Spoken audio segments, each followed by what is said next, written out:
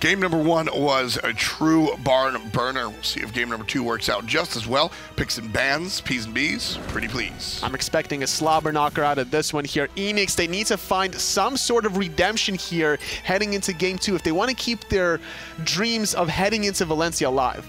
Team Rival not willing to first pick the Khepri, so they'll ban it out themselves. Eanix don't want to see KaLaS on Fafnir either, so they're going to ban out the little dwarf. And Sol. I, I, really like that ban. I think Eanix's mid laner Lawbster plays a fantastic Sol, so get that out of here. I'm expecting Rival to first pick Terra here because of the way they orchestrated their strategy in game number one. Obviously taking that with the Morgan going into Terra every single time. So Going to be the Nemesis actually to start things off, though. Still could look for the Terra as it's available, or allow Eanix to pick it up and go for the Morgan. Well, Eanix are going to go for the Geb right here. Going to have a little bit more defensive prowess, Big Man Tings. We'll see what he's able to do with that. And then Hou Yi. That's Funball's go-to character these days. He really likes this god, and for good reason. He's really strong on this character. And, well, it's kind of what Deathwalker does with Bellona. That's true. Hou Yi on Funballer is going to be a great start for how they control the early pacing of the game. Hou Yi is one of these gods which can easily take down a jungle buff very quickly between his Ricochet, especially if Eanix has been focusing on the strategy with their support to help him out. So Sun Wukong is also going to join us here for Eanix, a character that has come back why is he so prevalent? We've seen the addition additional buff to his abilities, right? There was a 10% additional physical power scaling on his Master's Will, 15% extra on his Cudgel, and then on top of that, the Shifter Shield yeah. Resurgence here is a great addition for this god. The way he scales in the mid game, just spamming these abilities every single time. So Poseidon a character that we haven't seen in a little while, will make the return. This is Lawbster's one of Lob. Oh, man, everything is one of Lawbster's go-to characters. He's been playing for so damn long. But Isis is the response, and Wolfie's Isis. Now that's the truth. There's a lot of control here with just that Isis alone. The damage is very evident out of Rival between this Ares Nemesis. Now the control between Isis Cupid really allowing that chemistry that Rival need to take into these team fights. That huge double AoE ultimate between Isis Cupid is going to match out this Geb Hou Yi between the Suns and the Cataclysm. But now Hun Batz here for Fails. This could put Eanix in a good spot if they engage first. Double Monkey. Double Monkey. They win. Double Monkey. No, but real talk. Isis and Cupid create a great situation where the enemy just cannot walk in that area. We'll see how it works out. Team Rival versus Eanix. Bringing it to you. Game number two here. Eanix needs to figure out some sort of way here as we're going to head into the game here momentarily. We're trying to see how Eanix can stop the early game aggression here out of Rival between the way that they started off in the first game. Rival found that early flank here, so I'm not expecting Eanix to fall for it two times in a row. Uh oh Chain's on a fun ball. Very quickly, fun ball's in trouble. The jump over the top and the clap. Vote gets the kill. Wow. Rival yet again with an early first blood. Last game, it was in the mid lane. This game in the dual lane, just mixing things up, not allowing Eanix any breathing room. First blood now going in the way of Vote here, and the death onto Funballer. That's going to create such a disparity here in this dual lane matchup very important play that Team Rival bring that over to the left side instead of the middle lane. You got to keep things fresh. You got to see things changing. That's why we saw that that um, the strategy pushing up as a unit, making sure nobody surprises the mid lane. Well, once that becomes meta, you got to move on. Funballer also has some more assistance there. He had Fails right around the corner, along with Big Man, even popping the Frenzy out of Big Man, but it just wasn't enough. These level 1 chains from KaLaS is so detrimental towards crippling your opposition here, and I'm pretty sure Funballer didn't go for his dive bomb. If he did, he would have definitely popped bees and used that just to get away, and not having that option available to him, he's going to take an early spill, and despite dying on the left-hand side. Ducky is left alone on the right in a 1v2 situation. Not ideal for a Sun Wukong. I mean, a Sun Wukong is certainly one of the characters that can handle that better than others, right? Sun Wukong can certainly clear by himself and, and do the whole nine. Why do you say it the other way? He just needs to not fall behind against the Bellona. He needs to make the same timing of rotations in these team fights. Ducky gonna stop out the bludgeon here. That's, that's the one, one, That's the one advantage that Sun Wukong does have in this matchup to stop the slam portion of the bludgeon. But at the end of the day, with Bellona still getting those AoE cleaves off of the hammer, it's just gonna make it easier to outclear the Sun Wukong up until he gets about level six or seven. Yeah, I mean that that's really when he comes into comes into play, and then he looks to clear the wave nice and quickly. But Team Rival quickly off to a lead stealing away the blue buff against a Ducky here, even investing into this Bumba's mask for the Sun Wukong solo lane, and by not getting his own blue buff, this 500 gold investment investment of the Bumba's mask is basically useless. So not only is he behind in the net worth category, there's additional 500 gold of the Bombus mask that's not going to really translate in these team fights. Right, he just needs, he should have, or can't say should have, you can't predict the future, but I'm sure he would rather now have a pair of boots. Vote on this Cupid. Certainly gonna have a lot of airy denial. That's what I was getting. That's what I was getting into in the picks and bans towards the end of it. Wolfie and Vote combined will just create a giant spot of you can't walk here. That's true. Ducky, though, trying to hold the wave outside of his tower as long as he could, can. Not going to lose the gold on the tower, but he takes a little bit of poke in the process every single time. And with this control from Rival in the solo, jungle, and mid, they're able to take away not only the blue and speed, but control the right side mid Harpies along with a Fire Giant Elemental. So Ooh. The dash forward, gonna cut off big man Tings. No ultimate available for him, but the damage doesn't seem to be enough. The change, though, that's gonna change everything. Big man Tings gonna fall down here for the second kill for Team Rival, the second kill for Vote. Wow, KaLaS, he knows his damage output. He finds two chains onto Geb. He recognizes, like, this is enough to kill him. Let me min-max my damage and find the third chain onto Funballer just for good measure. Second kill for Rival already not even four minutes into the game. Getting off into a pretty good start. Now trying to continue the trend of invading the speed buff. Yeah, I think I, I think the loss to the Poppies was just a fluke. I, I, I might watch that VOD back again tonight, Totally, to see just what went wrong because Rival, they look, they, they just look so good. This is such a strong team. Eanix is one of the best teams on the planet. Ooh, a lot of trouble is Lawbster. He's going to get caught by the max distance Spirit Ball. The Wing Gusts are good as well. Third kill for Rival at such a quick pace. Understanding that Fails did not have the Fear No Evil available to him, he didn't really care if the if the Kraken was available. It was the fear no evil that that Team Rival were afraid of. As soon as that went down, they can look for the kill in mid lane. And there was not much mana on the Poseidon either way. The Purification Bead's not available. Deathwalker getting the better end out of Ducky yet again. Blue buff on additionally to the speed buff keep stripping that away from Eanix is the goal from Rival. And with the first back from both of these soul laners, Ninja Tabi for Deathwalker, and not enough gold here for Ducky to finish off the boots because of that Bumba's mask. Mm, yep, that's, that's coming back to haunt him a little bit.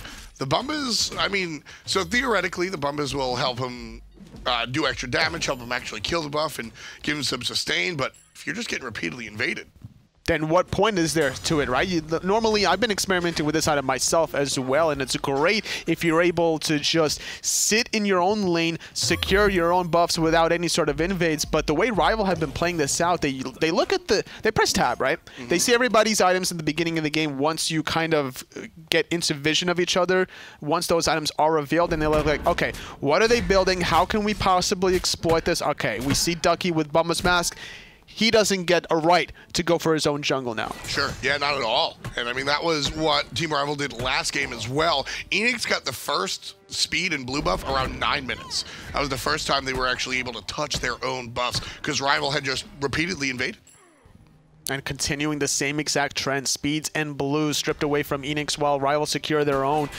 One level disparity thus far for Ducky. Not a great spot if you're a Sun Wukong player that needs to not necessarily fall behind. He's a pretty decent god from ahead, but he needs to stay even with that enemy soul laner because he needs to be in team fights at the same time. So if you're losing the lane, you need to catch up and farm. So you might actually give up rotating to a team fight just to sit there. Well, that's going to be beads out of fun ball.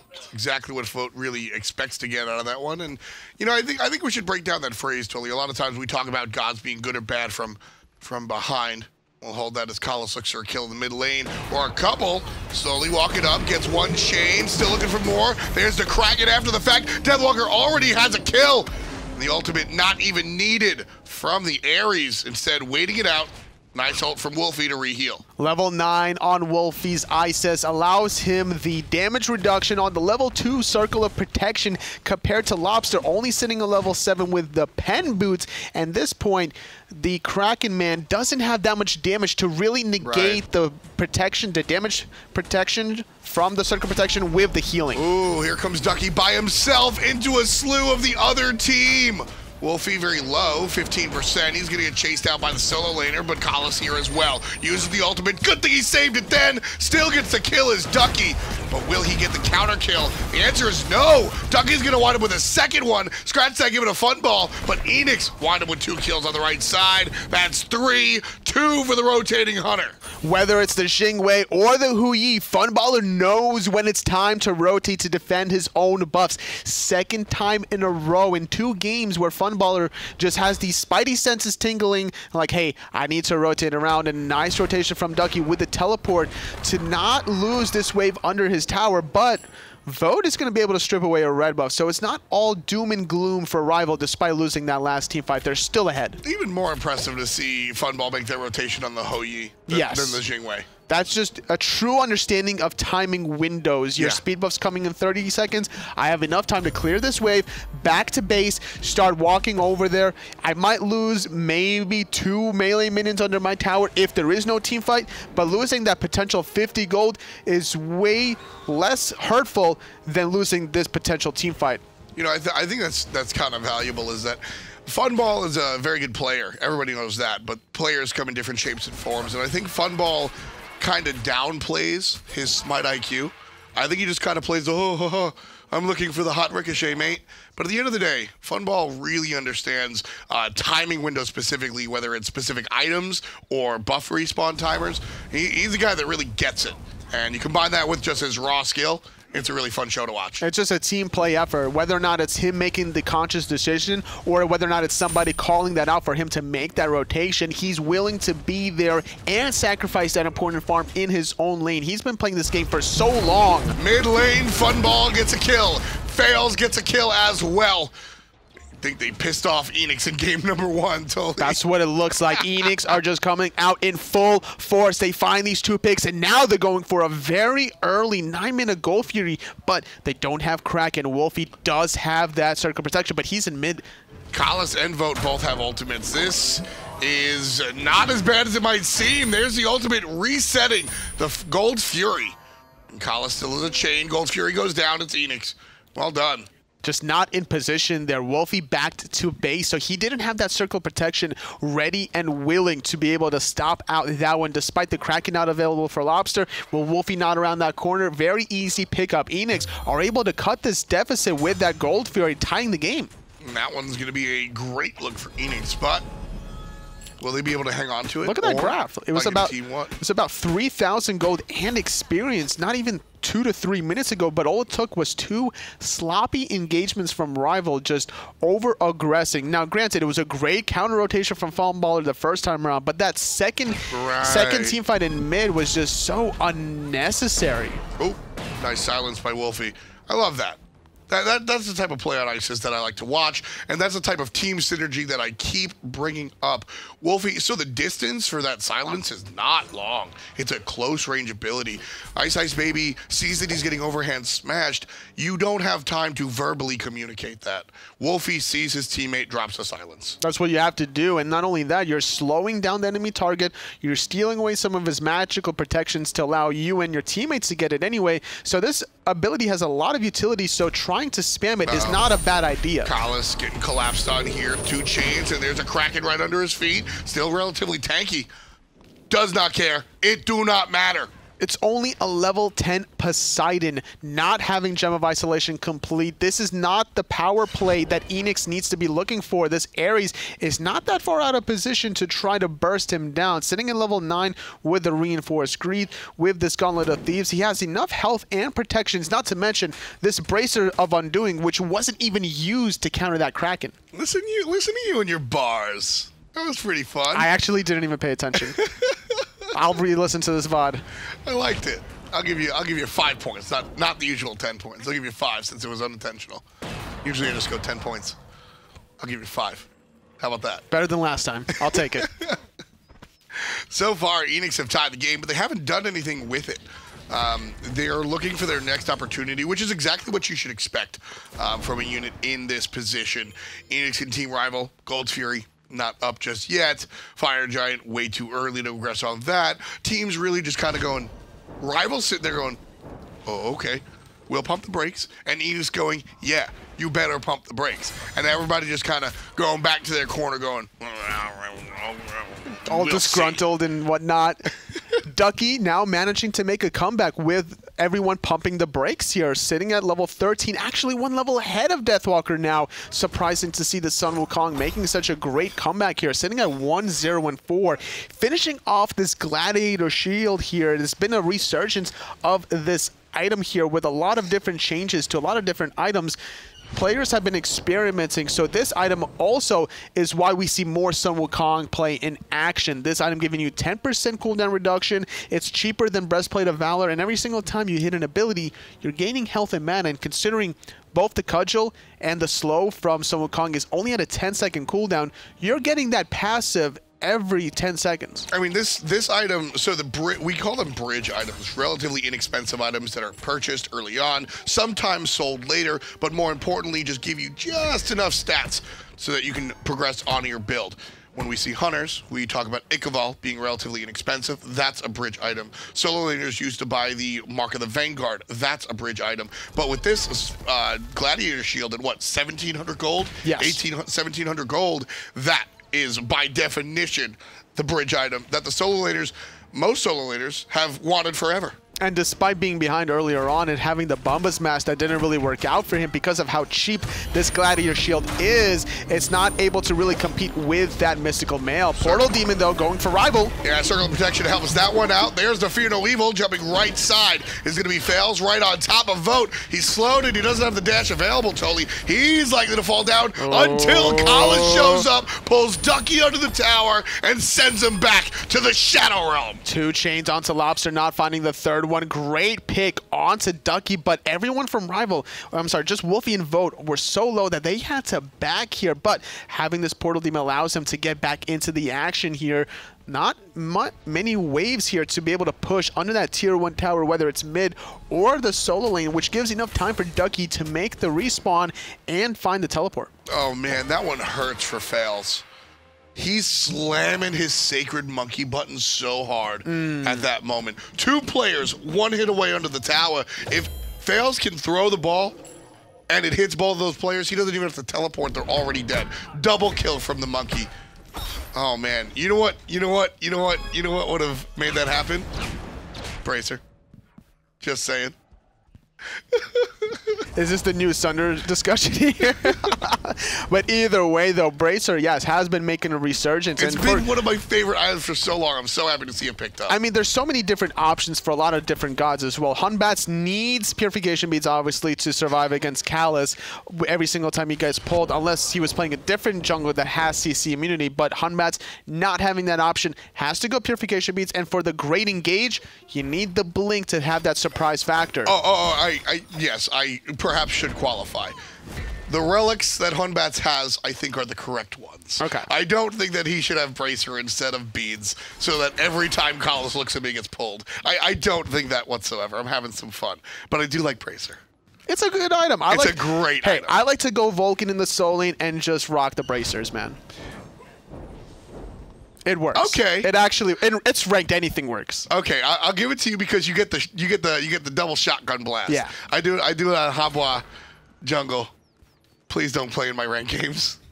But you see it a lot with those, those are my favorites. When you get the reset, when you're able to fire off an ability, hit bracer, fire off the same ability, you get tons of, of hilarious moments. Uh, and here with team with team rival, you see uh, Ares with the bracer. He's going to be able to change, change, chains, flames, bracer, change, change, chains, and you're just stuck. It makes sense. terrible. It makes sense though for him to be able to do this. Not only is he going to reset the cooldowns because the chains will go on cooldown after that third chain, so the duration of this uh, the damage over time and the Yep. cripple, then you pop that cool for the cooldown Exactly. reduction.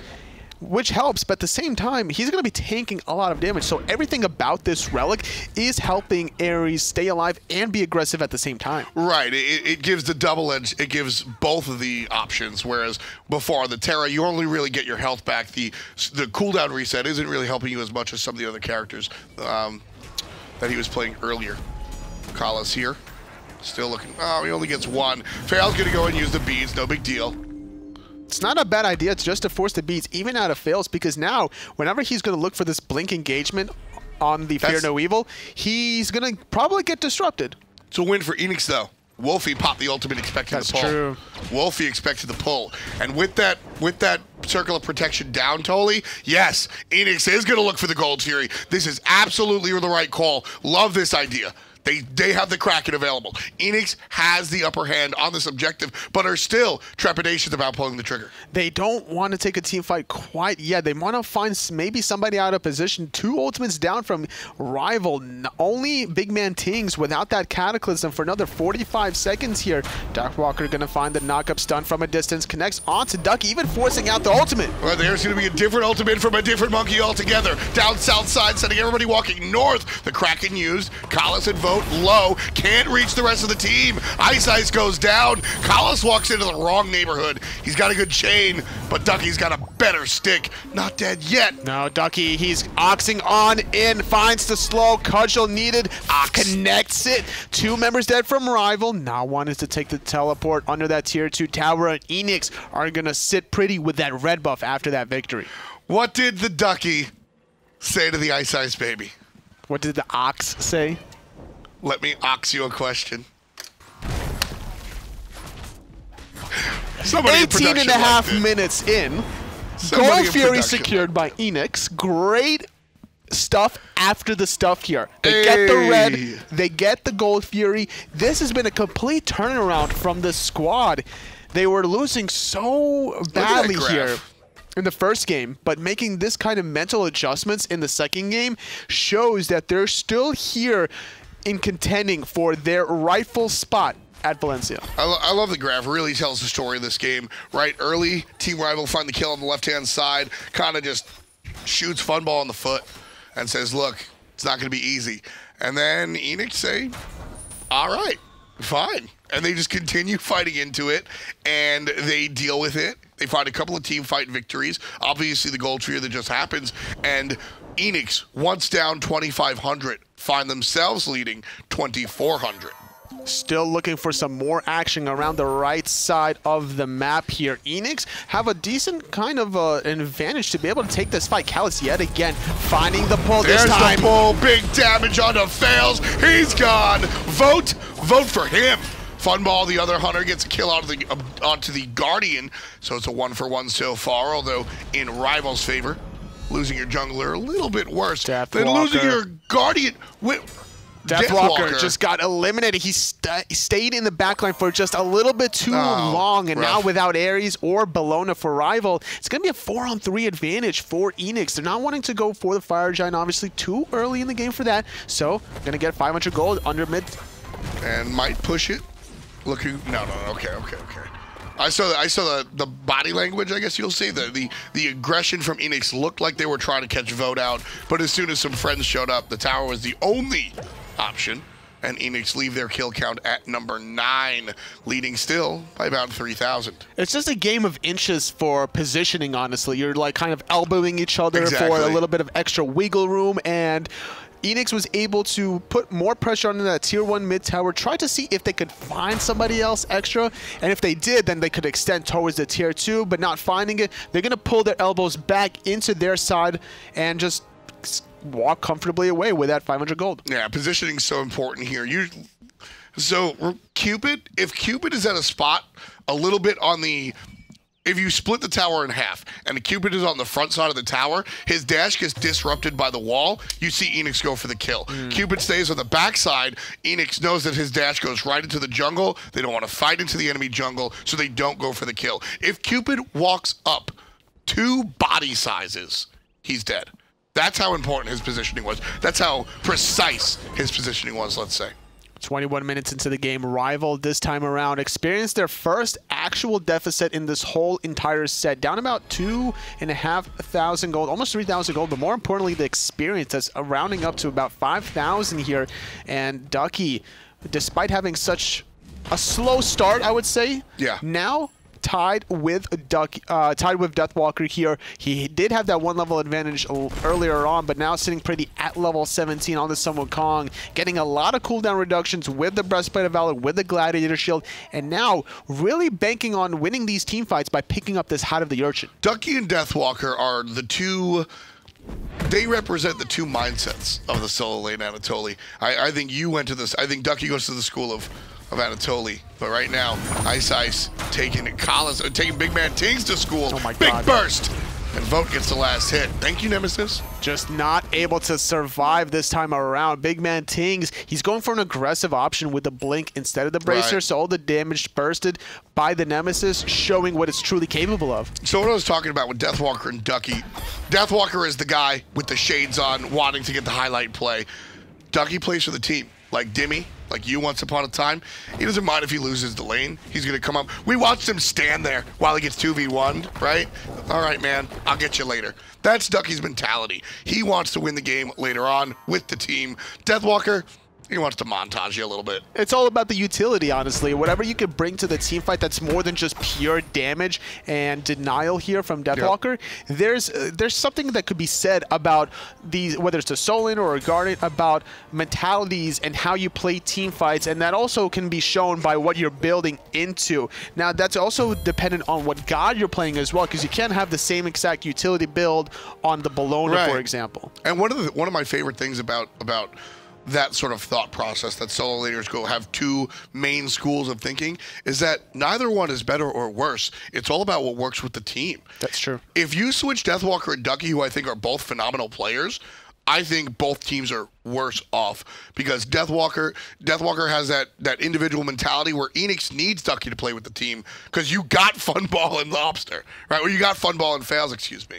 right? Lawbster and Ducky you're going to play with the unit, and then you you you look at Ducky on the other team. Rival need that superstar. And Deathwalker is defaulted to be that guy. So uh, you both sides are represented. There's the Kraken. KaLaS in trouble. He's going to be down unless he saves himself. The bracer, the bracer got him to full health. The Isis Circle also healing him up a little bit further. Vote with the Cupid Hearts to sustain Wolfie even further on. And it was a great engage from Fails, but even better counter engage by KaLaS to be able to absorb all those cooldowns, survive the Kraken, and then turn it around with that bracer. The only ultimate available is Fun Balls. Ducky's, Ducky. Ducky's is there, but team fight ultimate. Mm. The suns come down will have more of an impact on Ducky's extra life. I, I heard you solo later. Uh. Listen, when it comes down to it, fighting around the Gold Fury, I think Funball's ultimate a little bit more relevant Sure. than Ducky's. Depending on how aggressive Ducky wants to be, because Funballer can use that ultimate defensively as well, just to zone out, depending on how aggressive Eanix wants to be here. But Rival, they need to respond to this goal fear that's being pulled by Eanix. But like I said, with the subs available, Enix is this is theirs to take. They're gonna go for the fight. Ducky uses that ult, very important that he had it there. The rest of the team gonna fall back on the top, on the five. What is it called? It's the goal fear. Oh, thank you. Goal fear gonna get started again by Eanix, wrapping around underneath is Ducky. Really reset off of that Spirit Ball alone. Big Man Ting's going in. There goes the Suns. Now it's KaLaS out of position. And there, yeah, the Suns waiting for the team fight. Backside, vote in trouble. Aegis saves him for the moment. Spirit Ball saves him for the second. Wolfie saves him for life. Great team synergy. Team rival on a tear. And they're gonna keep pressing on towards the Goal Oh, those with the plays. hearts from Vote. He was sitting at about five percent health, One one slap. like one breath, One little flick in the nose. just one, like one little. one little look in his direction. That's all you got. Everything I was about to say is not cast friendly. I figured. Team rival. That one's not cast friendly if you're rooting for Eanix. Tie game. One more time. 26 minutes. Team rival come back. They fight into it. They get the team fight win off of fantastic bodyguard play from Wolfie. Ooh, but diving into the backline is Big Man Still rivals. Double girdles here from the opposite ends. Big Man Tings trying to Ducky. roll on out, but Rival secure themselves the Portal Demon. Ducky still looking for the jungler.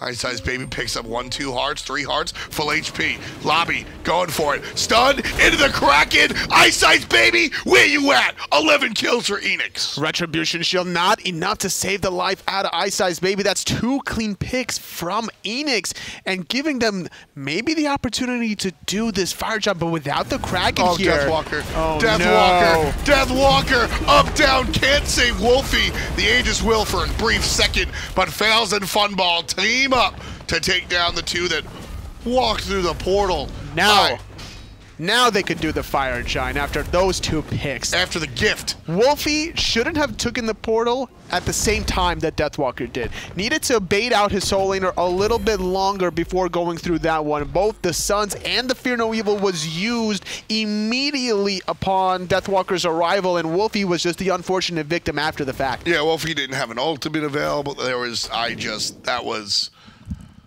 Rival have done so many swell things that, you know, sometimes you just, your brain turns off for, a- for a brief second. I, like, sure, that statement's a little tongue in cheek, but I mean, totally, you're a player. So the mentality that Rival had there was that they had no vision of Fire Giant. They were going in blind on purpose to maybe stop the Fire Giant attempt out of Eanix. Right. That was their goal. Yeah. Which is a valiant goal. I don't mind Deathwalker going through there.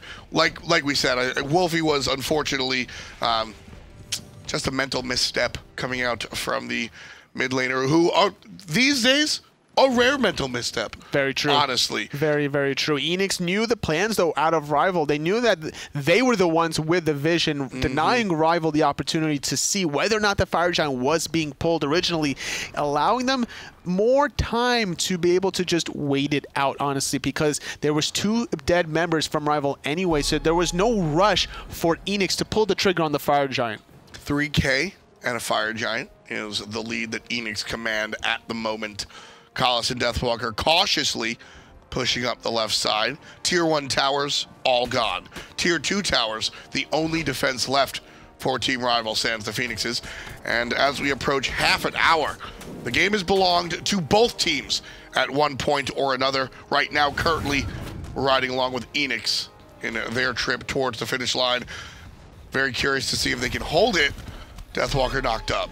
Leading the charge, Deathwalker trying to keep his tier 2 alive. Ducky receiving the shield, trying to absorb a lot of damage. The chains from KaLaS doing quite a bit here, but without the blink for this Ares, it's very difficult to engage for him. Still playing it safe is Eanix. Don't want to go in too hard. They understand they have a slight advantage, but not a gigantic one. Really just waiting on an opportunity. They're just going to walk in and see how Team Rival react. Ice Ice Baby on the right side being protected or stopped by Fails, however. And slowly, Tower just chipping down. Ultimate a vote might be good here, but KaLaS is the answer after the fact. Two players grabbed, other two beads. KaLaS in trouble. He uses the bracer, but it's not enough this time around. Funballer finding the first victim of this engagement. Tier 2 still stands for as long as it possibly can. 5 on 4 for Eanix for another 30 seconds. Gonna start transitioning over towards that mid lane. This Tier 2 and mid should fall as well. Eanix too smart. Rival threw them. I love what Rival did. Vote throws out the ultimate and catches four people in it, understanding they're going to beads. And then KaLaS goes in and gets the pull on everybody. They win the team fight. They go ahead. They win the game. Well, here's the problem. Nobody beads the Cupid ultimate because they understood that KaLaS was coming up secondary. Eanix turn around. They kill the support. Fantastic intelligence and te- I wish we had a listen in because somebody calls do not use beads. Somebody calls that totally.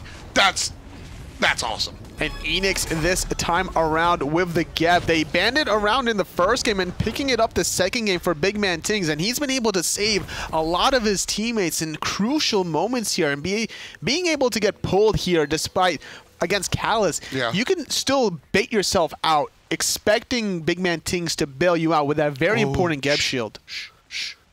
shh. They're hunting weapons. Eanix here, Deathwalker. Hey, hey guys, I'm gonna go for the blue buff. Guys, I think I want a blue buff. Oh, hey, bud! Deathwalker Aw. just gets chased out. He doesn't die. It wasn't as It wasn't as climactic as I really anticipated, but it was kind of funny. That shield charge coming out of Deathwalk at the last possible moment barely clips the tail end of out of that Fear No Evil, which disrupted the follow-up from Lawbster. Ice Ice Baby. I love the decision to go Magi's Blessing. Not a lot of choices to really strip it away very easily. You're looking at Wolfie with the long range Spirit Ball, KaLaS with the chains. Obviously, that means he's already engaging. I think the Magi's Blessing combined with the beads that he has selected for himself. I mean, Ice Ice is just never going to get pulled by Ares. It's just not going to be possible because they're on the same team. Yeah, it's twice for me today. Oh well. Unless there was a Morrigan on the opposite end, that would be quite a I sight to see. appreciate the what if there's what if there's a god that actually just forces you to fight your ally? Like Rob. Oh, oh, uh, Cat, Madness. Yeah, uh, but like, what if we had more like that? More madness. More madness. This is Smite. I appreciate the, the, the attempt to bail me out, but oh well. I make mistakes. Fire Giant has respawned here. 32 minutes into the game. Eanix with a six to 7,000 gold lead, but it's still fightable for rival. Oh, absolutely. With the Fire Giant on Eanix's side, it becomes a lot harder. So Rival absolutely need to maintain control of this. Ice Ice Baby not getting pulled by KaLaS anytime soon, but can KaLaS pull the other team? That's really the question that we have to ask ourselves. He was unable to find it in the last engage. Eanix was too smart, but with the team fight going on, are they going to be able to really make that call as a question? Tucky doing a good job just banning out some cooldowns against the Wolfie, but he doesn't really care too much because of that passive, the way it works, gaining HP5 and MP5 based off of witnessing a bunch of deaths. Kraken against Ice Ice, Baby Bees, and Bracer being used, Retribution topping him off. The bracer, uh, that's a win for rival. The bracer on Ice Ice, so much less important than a full Kraken. Over the wall comes Funball. There's the KaLaS grab. Wolfie, pop, pop. Double kill for the mid laner. That time it worked. So much damage. Where did they go? Eanix now fighting in a 3v5 here. Vote and Wolfie experiencing some pain from that Furious Monkey, but fails not wanting to go in despite winning that team fight, playing it super safe, wanting to be 100% healthy before they go for this Fire Giant. That was the play that Rival tried to make happen on the left-hand side of the map that Eanix was too smart for. No, sir, we don't need you. We'll get the we'll, we won't pop the beads. That time they get pulled by KaLaS into the circle of prots, into the devastation. Team Rival, it's 10 to 14, and Eanix lead them by about 6,000 gold. This is the time for Rival to start turning things around here. They have to go for this Fire Giant if they want to get back into this game. Deathwalker is going to start tanking this up here. Damage from Vote being dealt. Fire Giant less than half health. Ducky trying to disrupt some of the DPS, keeping Vote and Wolfie preoccupied. Do they stick to this, Sully? They have to. They have to get something At out this of this. point, they have to. 25%, no circle of protection. Deathwalker, the only ultimate available. Up down is good. Fire Giant goes the way of Team Rival. Deathwalker securing that for himself. Ducky still trying to dive the backline, but it's KaLaS taking a lot of damage. Rival trying to retreat as best as they can. Big Man Tinks is here. His blink is available. Cataclysm could be the engagement tool. Rival are backing out. There it is. That is a big boy play. Team Rival are going to lose their tier two tower. Worth. Yes. Uh, what is that? A thousand gold in trade for the Fire Giant. Yes, sir. If you could spend a thousand gold in the store and buy your team a Fire Giant buff, would you? Fif- 1500 gold, I would sacrifice that in a heartbeat for my team. Like, yeah, we're going to lose this gold for the Fire Giant. This late in the game with everyone having about five and a half to six items complete here, it's very important for these teams to really start controlling this objective. And by losing that last encounter for Eanix, they were playing so well that whole game. Yeah. And all it took was that one double pull into circular protection, and Rival just turn everything around. The game can change on a hinge like that. Eanix are very successful, but Team Rival, I think, are the the team fighters at the moment. And again, I affectionately call this team Energy, have had called this team Energy Junior because of, well, a number of reasons that I won't dive into now, but all positive. I think it's time for me to stop calling them Energy Junior and just start calling them Team Rival. Wolfie gets the goal here, here, giving them more of a comeback here. Now only 5,000 goal behind. Rival making strides towards getting back into the game. Yeah, brief pause. I really hope this one's brief. I want to see what happens. Eanix, I mean, it wouldn't surprise me if Eanix comes back and beats them in a team fight and we're here for another 20 minutes. We saw it in the first game how Eanix got the Fire Giant, tried to aggress under the tier 2 solo tower out of Rival, but the great Morrigan transformation onto Terra mm. for Wolfie kept them in that team fight. The question is, how is Eanix going to hold on to this team fight? Because they don't have the same option that Wolfie did last game. Sure. If the damage from Lawbster gets negated by all these bracers or the retribution out of Ice Ice Baby, then the team fight's going to go in Rival's way. Lawbster has to be very calculating as to when he throws out that Kraken. Yeah, throw the Kraken onto the Ice Ice Baby. That was he just didn't know the bracer was there. That, like that that's the only that's the only explanation I have. Lawbster is a veteran player. He understands that he kills the Nemesis in that situation. Basically, unless Nemesis has a bracer of undoing or a meditation. And he happened to have a bracer. And even if he does have bracer, it's still better to Kraken a target that has a bracer than a target that has an Aegis because sure. there's still kill potential right. there. The but, burst but, damage is available. What I was saying is that if Lawbster kills the jungler there, that's Eanix's game. Almost. They get the Fire Giant, they get the subsequent team fight. Right now, Big Man Ting's going in. Rival get the Portal Demon. KaLaS has a couple. Grabs a couple. Pop goes to Weasel. Cause the Weasel goes pop. Wolfie winds up with another kill. That's 11, but fails, bites back, taking down Big Man Tings. One for one. Deathwalker not available here. Funballer and Lawbster taking a lot of damage. And now Ducky is caught between a rock and a hard place. Blinking oh. in his fails in the backline, catching Wolfie off guard. Up top is going to be Ice Ice taking three with him, but he falls down. Three dead on the side of Team Rival. They had the Fire Giant. Vote being chased here. They had the lead. KaLaS being chased here. But it's Eanix that are going to take at least a Phoenix. I'm playing it safe. They could potentially. It's only vote alive here. Only 30 seconds for Deathwalker. And that wave is pushed relatively far that they could look for the aggression, but playing extra safe. I, I would have liked to see a right side Phoenix. I all right, let's let's think about it here. Funballer, Lawbster, Ducky. Ducky tanks. Funballer goes on the Phoenix. Lawbster helps Ducky survive. Doable if the wave is under the Phoenix. It was. Eesh. You know what? I, I take it risky. back. With this this side of a game, nah, you right. Take the win, go home. You wiped the Fire Giant. That's the win that you want to take. Team Rival used to have five players of the Fire Giant. Now they just have a Cupid.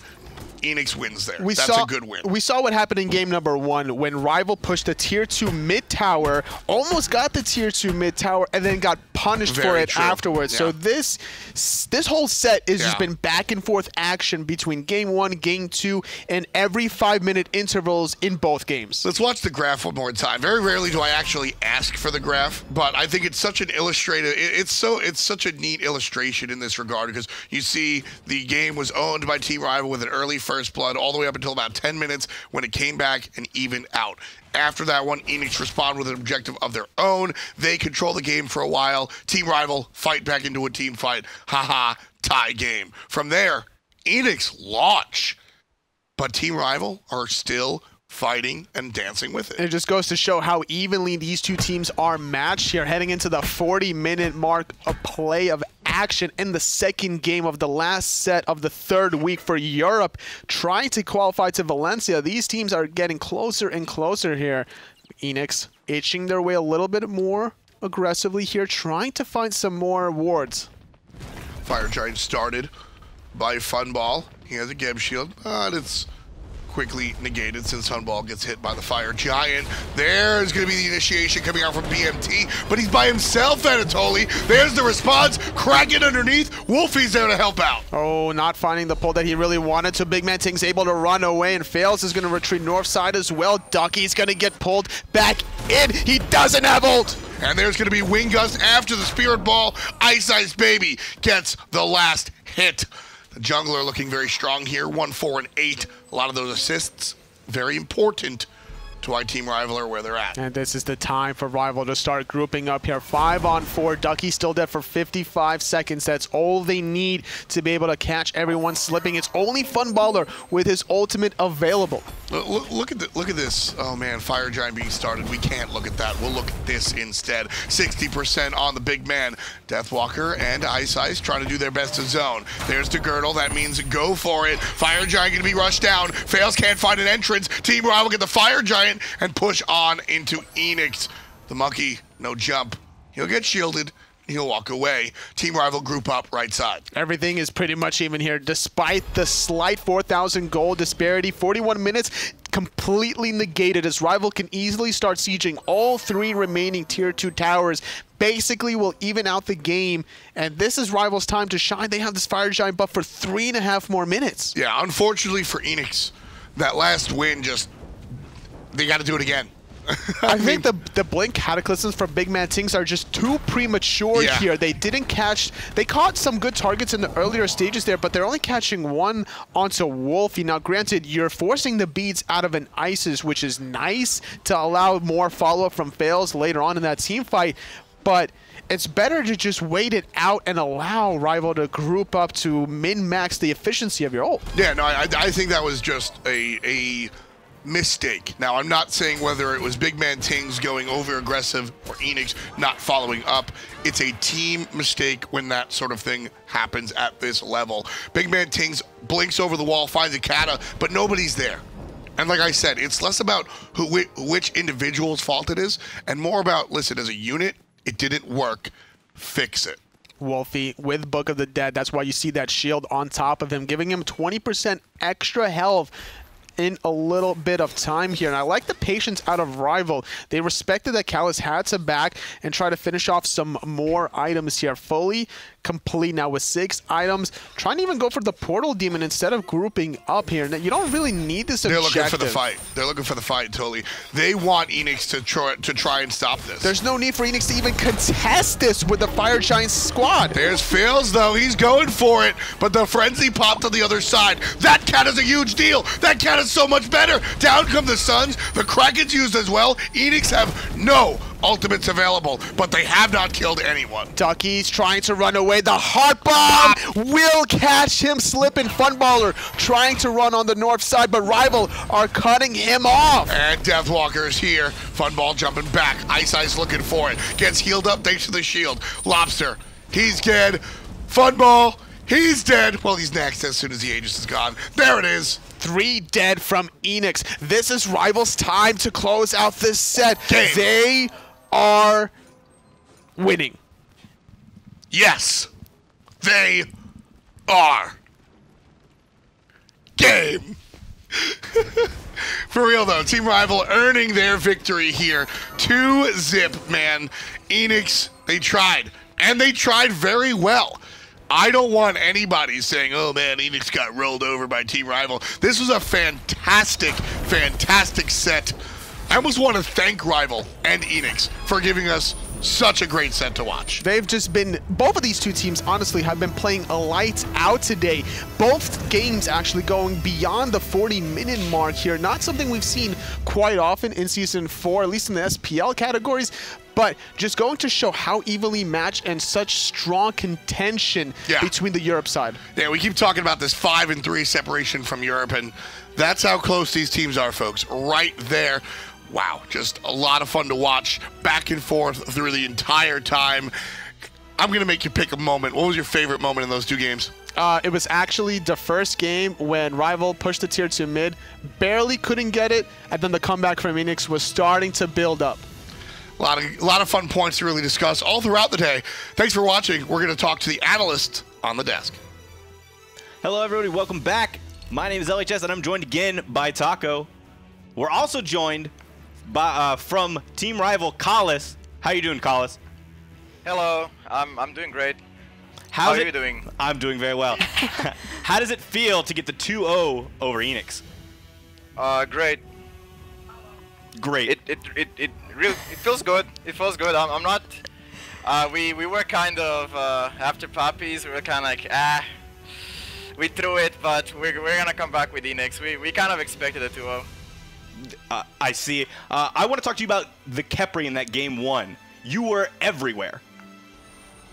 Uh, was I? I, I, I, I only saw myself abducting one guy for every 15 seconds. I don't know.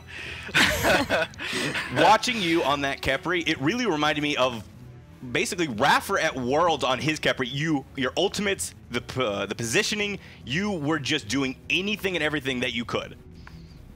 Uh, yeah, I was definitely trying to uh, keep my team alive and set up as much things as humanly possible.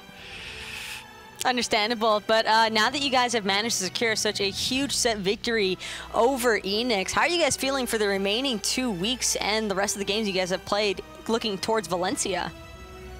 Uh, I, I, I think we feel that we can, uh, we, we can get there easily. We just need to not get, uh, have problems that we had in game two against Eanix. And as, as long as those mistakes don't happen, we should be able to uh, get there. For sure. Uh, and as good as the, your Khepri was game one, your, your your Ares in game two, you looked really comfortable. I know it wasn't your dragon, you didn't get your Fafnir, but you looked really comfortable on this Ares pick. Uh, Ares is actually my favorite god, has been for a long time.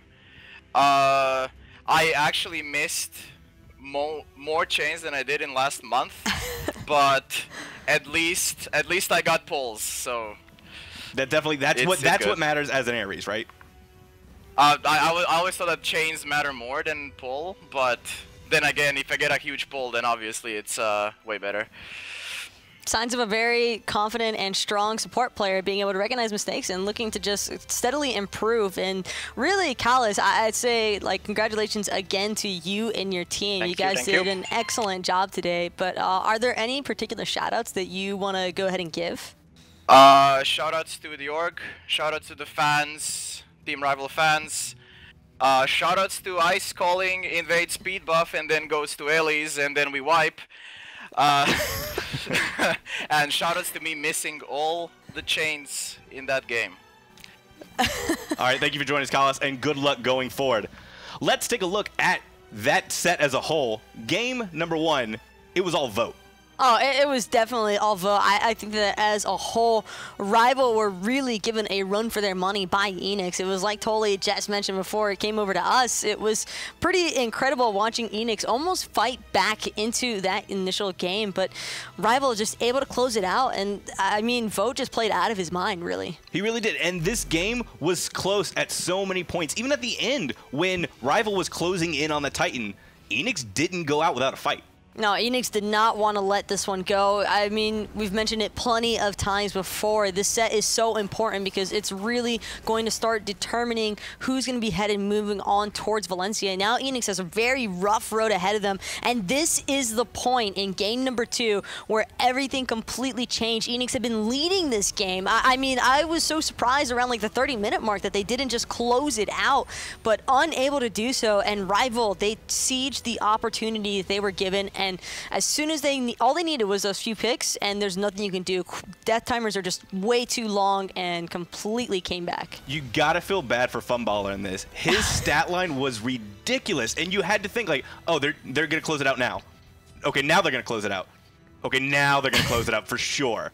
And then they never do. And then this team fight, and it just it feels bad, man. It's it was completely heartbreaking because really him and Ducky at multiple stages as I was watching that, I, I saw like notably Ducky three one and seven, Funballer six one and four. They were both such huge members of every single team fight, and so the second that one of them fell, it, it just led into this domino effect where rival were just able to take advantage of the of the moment, and I mean they sieged it.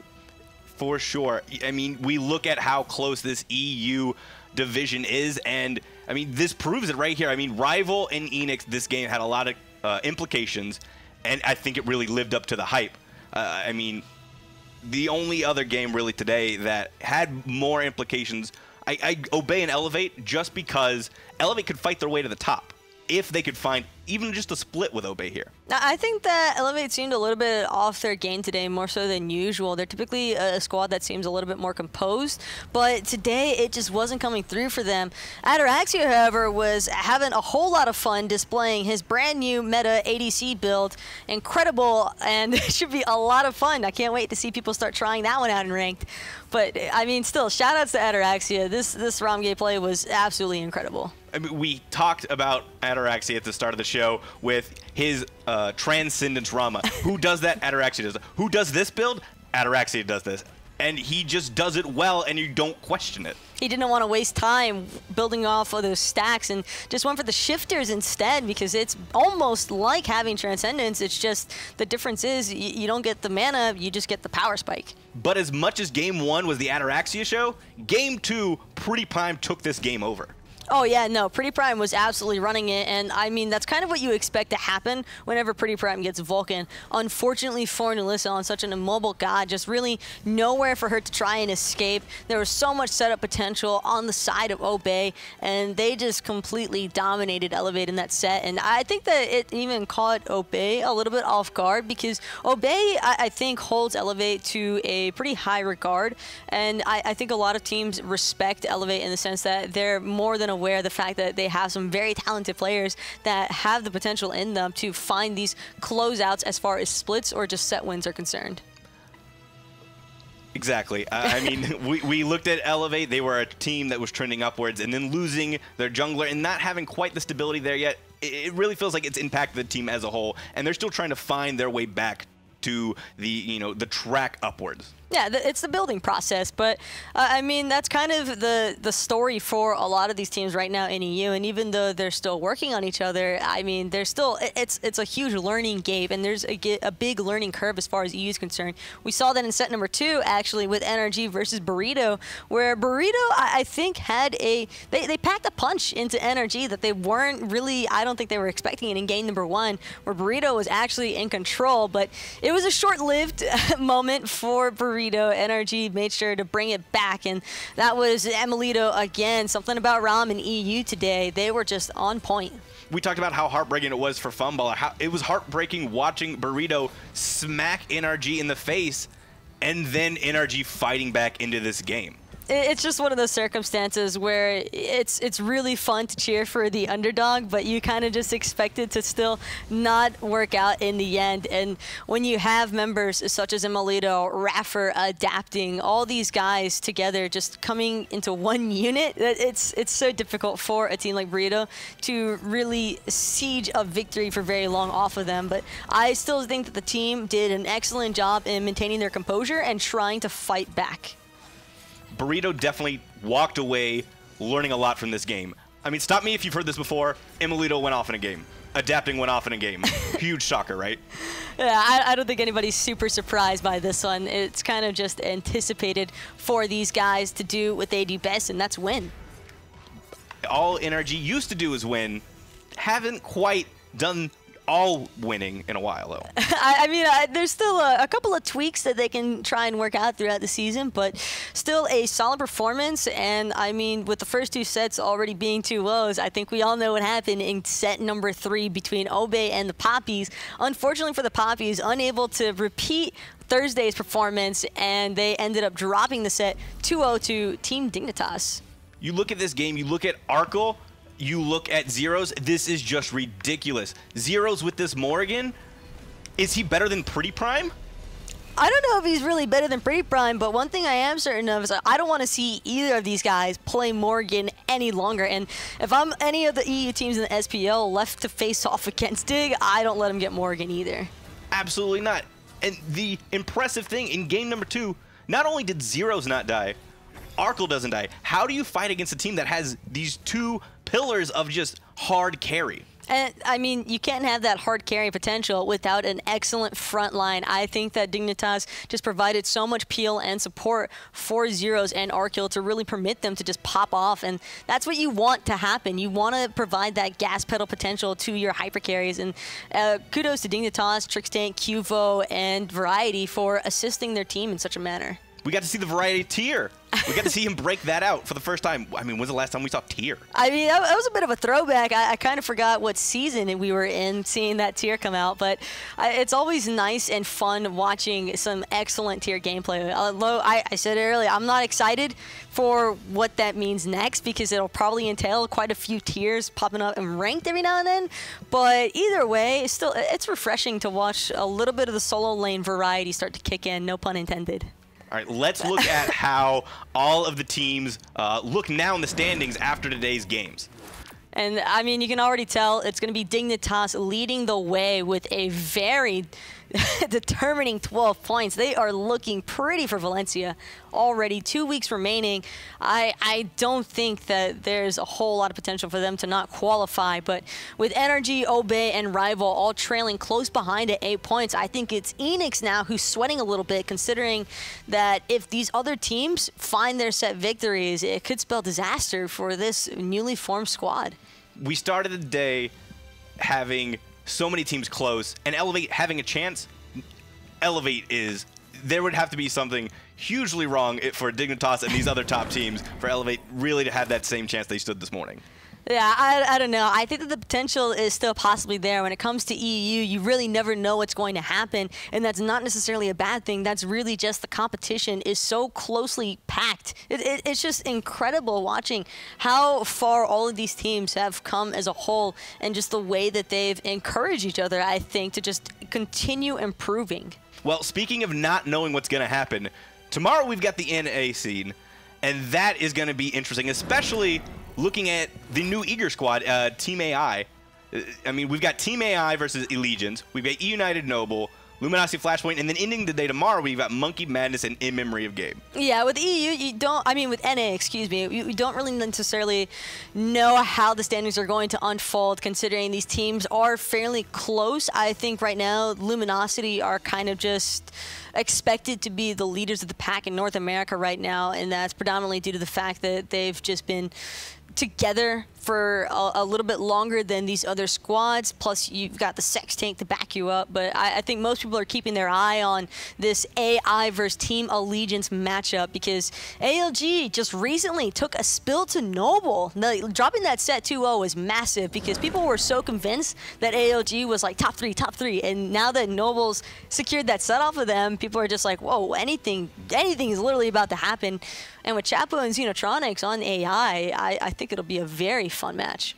It should be. I, I, you, I look across that entire schedule and you really don't know what to pick. I mean, you've got Noble, who was looking like a bottom in a team, and then they go punch ALG in the mouth. And then you look at Luminosity. I mean, they have dropped games in the past. I mean, we shouldn't see them drop a game, but I mean, if Rival can drop a game to the Poppies, I can see Luminosity drop a game to anybody. Well, I mean, it'll it'll be a tell to tell, a tale to tell for tomorrow afternoon, and I mean, I know that we're all really looking forward to those matches coming up. All right, that's it for us on the analyst desk. Thank you for joining us for day two of week three here at Hi-Rez. We'll see you tomorrow, everybody. Goodbye.